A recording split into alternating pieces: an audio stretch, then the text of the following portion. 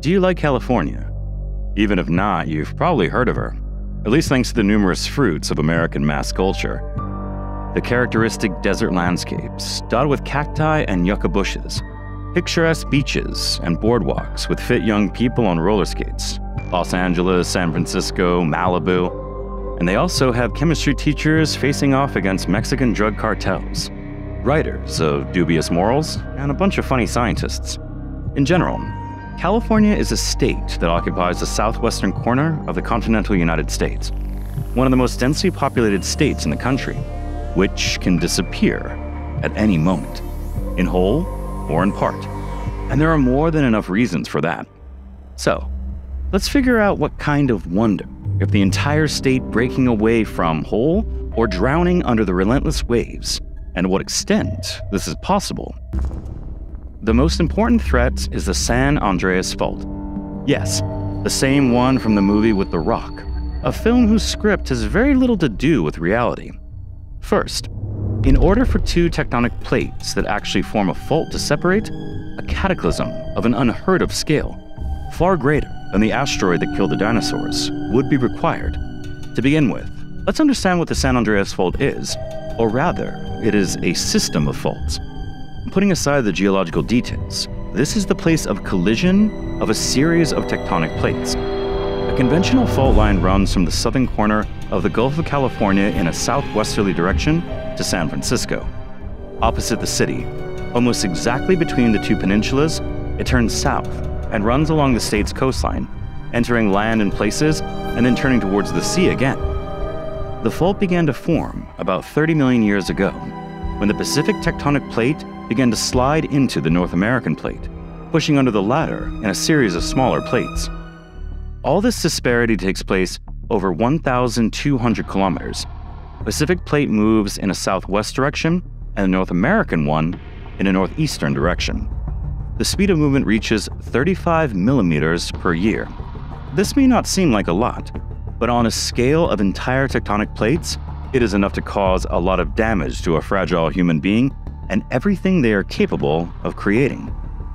Therefore, the plants constantly move along their paths, rub sides, drive under each other, and in general are engaged in usual in general are engaged in usual geologic activities. What is this? First, for everything, extremely high seismic activity. As of the morning of January 1st, 2023, California registered 21,822 shocks. It is important to note that not all these shocks become earthquakes, but only one of them was really tangible. But with so many aftershocks and under such seismic conditions, it's only a matter of time before something truly catastrophic occurs. On average, every 22 years the fault causes an earthquake with a magnitude of at least 7 points. This is equal to the power of a thousand nuclear bombs that were dropped on Nagasaki. The consequence directly depends on the area in which the earthquake occurs. So, the Fort Tejon earthquake that occurred in 1857 killed two people with a magnitude of 7.9. At the same time, as a result of the San Francisco earthquake of 1906, 3,000 people died at almost the exact same power. Conditional stability allows you to predict the next destructive event, but in practice, the predictions are not very accurate. So, after 1966, scientists predicted the next disaster for 1993. But in fact, the next devastating earthquake occurred in 2004. Two years before that, in 2002, the San Andreas Fault Deep Observation Station began operating. The station collects data from sensors located at a depth of 3 kilometers. The most recent evidence based prediction, published in 2013 by the U.S. Geological Survey, suggests that the next major earthquake has a 7% chance of occurring within the next 30 years on the southern part of the fault. That is, 20 years, if you take into account the 10 years that have already passed since the forecast. At the same time, the strength of the predicted earthquake will be 8 points, and this is of an entirely different scale. So, as of now, our friends in California are not even living under a powder keg, but on 3,000 atomic bombs from Nagasaki, which can explode under a city with well over a million people. Forecasts are actually very approximate, but the experience of previous catastrophic earthquakes allows us to predict the possible consequences in their occurrence. There are two options here. If the center of the earthquake is on land, then it is a mega earthquake, or in the sea, at which point it will become a seaquake. The difference between these phenomena is significant. First, consider the scenario of an earthquake on land. But before that, it is necessary to clarify the difference between the power and intensity of an earthquake.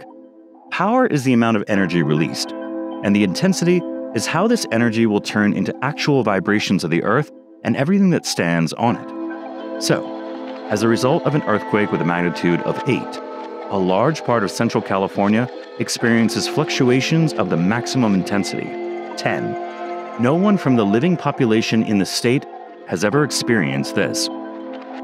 According to forecasts of scientists of the U.S. Geological Survey in the same 2013 study, the epicenter of the earthquake will fall on the area on the northern coast of the Salton Sea, an artificial salt lake near the southern border of the state.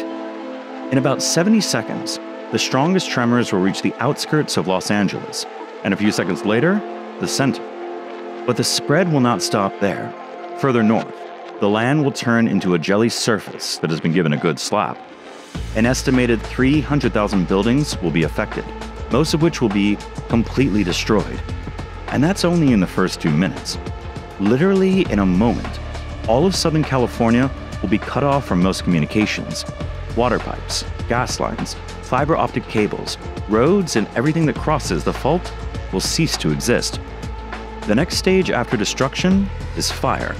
Up to 1,200 flashpoints are predicted in cities alone the number of wildfires is simply impossible to predict. Naturally, there will not be enough firefighters to deal with it all. Fires in cities will have the highest priority. This means that it is not known how long the destroyed gas and fuel pipelines will be repaired on their own. In addition, the lack of water in the firefighting system will make extinguishing in the usual way, through hydrants, almost impossible. But even after the last aftershocks die down, somewhere in the central desert of the state, the last fire is extinguished and people come to their senses, the problems will be far from over. Lack of drinking water and landslides will take their toll. Entire layers of earth will come down from the hills for a very long time, burying more and more houses and the people under them. And, to top it all off, earthquakes never go alone. Aftershocks are always followed by more aftershocks. That's why they're called that. They are always at least 1.2 points weaker than the earthquake itself, but can continue for days, months, and even years. The number of victims will be measured in the thousands, and the monetary losses will be in the hundreds of billions of dollars.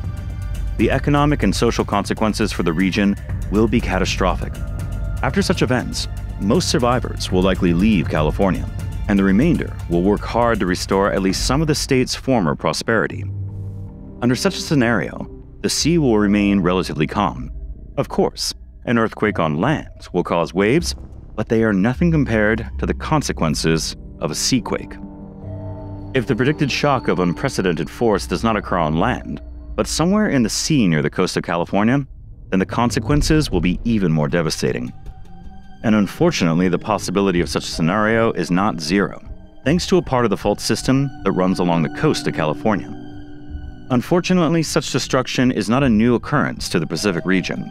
But such tragedies as the Tohoku earthquake and tsunami of 2011 in Japan, or the Valdivia earthquake of 1960 in Chile, which is similar in scale, allows us to predict the possible consequences quite accurately.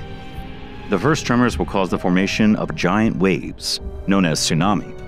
There will be no protection from them, because even at the present moment, the coastline of the state is not able to contain even the consequences of the natural rise of the water level in the Pacific Ocean.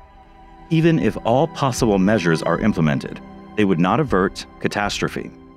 The coastline of Japan was equipped with a significant number of breakwaters, but no structures are capable of protecting the shore from extremely powerful waves that become higher and higher, moving along the shoal towards the shore. Waves with a height of 9 to 30 meters will sweep along the coast, destroying everything in their path but first, the cities closest to the epicenter will be destroyed by an earthquake that will spread along the fault. In the earth, the vibrations will spread faster than the water will come. If the magnitude reaches 9 points, the radius of the initial epicenter will be 500 kilometers. And this means that even if the epicenter is located 50 kilometers from the coast, the strongest tremors will pass through the entire width of the state. Neighboring Arizona, Nevada, Oregon, and Mexico will also feel significant tremors. Unbelievable waves will sweep along the coast one after the other, burying buildings crushed by the earthquake, overturn cars and everyone who did not manage to escape underwater. Almost the entire Pacific coast of the United States, Mexico, and Canada will be affected, and further, past the California Peninsula to the shores of South America, Guatemala, Ecuador, Chile. But that's not all. Killing waves will rush into the open ocean. Thanks to the depth of the ocean, they will save energy, traveling at 300 kilometers per hour. In 12 hours, they will reach Hawaii. And in a day, they will hit the long suffering coast of Japan followed by the Philippines and Papua. Residual waves can even reach the shores of New Zealand. In the very center of the disaster, the number of victims will reach into the tens of thousands. It is because of the complex system of faults that the energy of the earthquake will spread much further than in other known disasters of this scale. All coastal communities between Eureka in the north and San Diego in the south will be completely destroyed, washed away, and uninhabitable. And if you're still inspired by the catastrophic ideas of film directors of the corresponding genre, then nothing prevents you from imagining what will happen if the fault does break.